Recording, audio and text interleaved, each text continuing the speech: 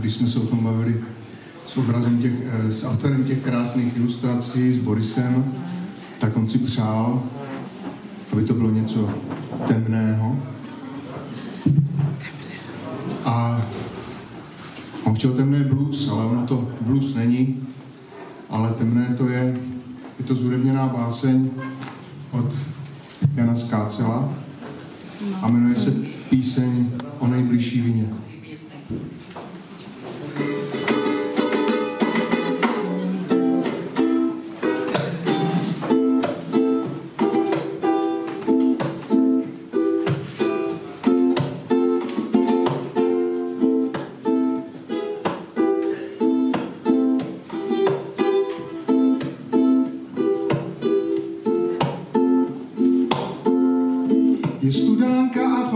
Krve.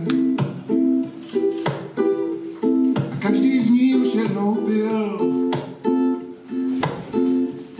Někdo zabil mou diváčka. A někdo strašně ublížil. Boris Jirku je ze Zlína. Já vyzoruji Boris Jirku tady za mnou, je vidět, že se tam rodí vysoce mužové. Pro nás samozřejmě to je autor také stínových plakátů. My jsme se kdysi domluvili, že Boris ke každému našemu představení vytvoří svůj, to je stínová vláda, tak stínový plakát. My potom můžeme posoudit a dovědět se, že Boris je opravdu nejlepší. Pro nás eh, Vizoviany byl Zlín nepřek nebo nedosažitelnou metou. Ten, kdo měl a mohl vypadat jak chtěl, přítelky, ženu ze Zlína, byl obdivován, vyznamenáván příjezdí i vizovských žen. Až potom jsme pochopili, že ve Zlíně nerodí se vždycky jenom ženy nás hodné nebo my nehodní, když jedna zlíňačka patřící k jednomu mému kamarádovi,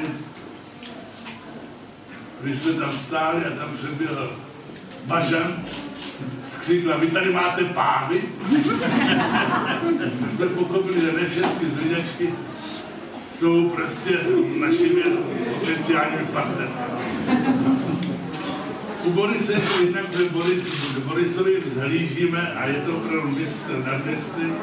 Je to malíř, ilustrátor, skvělý technik s obrovskou nepřekonatelnou fantazí. A já jsem rád, že člověče, jak jsem už starší, tak mě ty slza takhle stoupá. Tady na patře. Tak je to starší. tak já jsem rád, že ho můžu nazývat přítelem a že se můžeme kamarádit. Byl jsem u několika vernisáží jeho, kterým vždycky měl obrovský úspěch a ohlas. Tak jsem rád, že tady s tímhle krásným Evropanem si můžeme tykat. A vzal jsem si klobouk jenom proto, abych ho zase sundal s výkřikem francouzů bas, to znamená klobouk dolů. Tak. Našeho divadla, která zároveň se stala na chvíli číšnicí. Pozveme, ano, Autora pozveme autora knihy. a pozveme úpravce, grafika, typografa.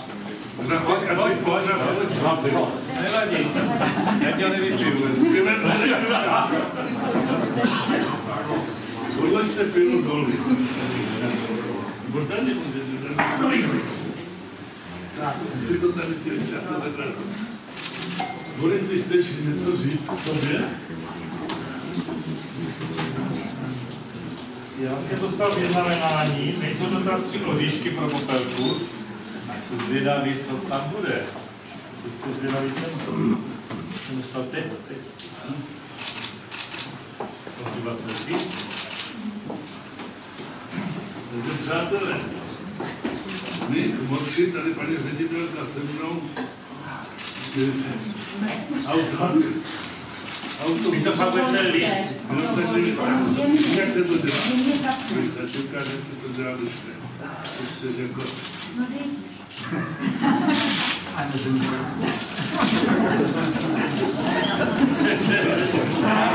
Prostě jako, Mluví jsem advokát, obhajoval jsem za komunistického režimu, eh, dizidenty, prezidenta Havla a tak dále a obhajuju i za demokratického režimu. A takže v tom jsou popsané moje zkušenosti jak s komunistickou justicí, tak s demokratickou justicí. Zkušenosti jako dobrý, ale taky hodně špatný. A o tom, kdo si tu knížku koupí, tak se tam o těch zkušenostech může dočíst. A já bohužel nemám s sebou žádný vyznamenání, protože vyznamenání, který jsem si koupil na Blešáku, jsem zapomněl v Praze. Takže to je asi všechno, co bych vám o sobě řekl.